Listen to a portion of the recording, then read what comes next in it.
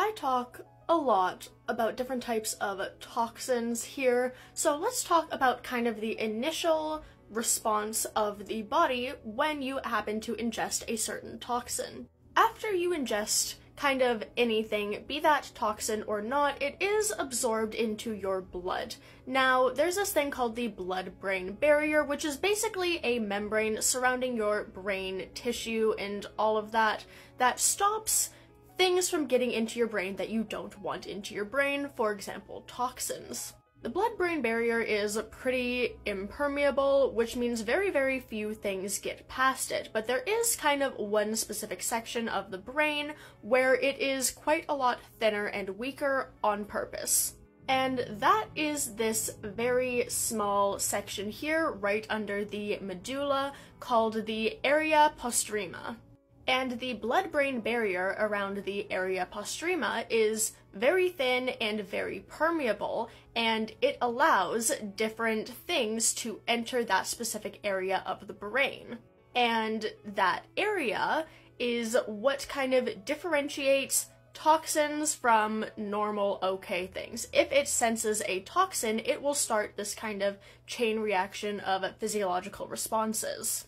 Most of the time, the area postrema is just like, yeah, okay, whatever, it's fine, you can keep going, keep eating, keep drinking, and doing all of that. But if you are ingesting something that happens to be a toxin, then it kind of activates and is like, hey, hold the fuck up. Nope, this isn't good, we need to not be doing this right now. And so the very first response is it sends a signal to your brain that makes you stop eating or drinking whatever it is. You just like, hey, halt.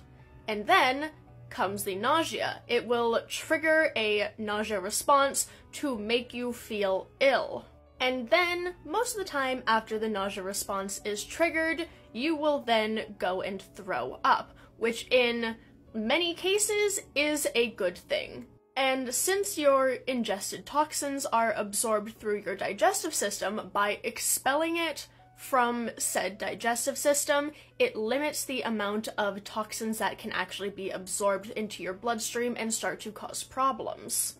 Now, many times after this happens, there is a neuronal pathway made that links that specific taste of whatever you're eating, say for example, a poisonous berry and the feeling of feeling sick and puking, and so there's a link made berry, sick, feel bad. So you then avoid that berry and things that taste like that berry, and then thus help avoid ingesting more toxins.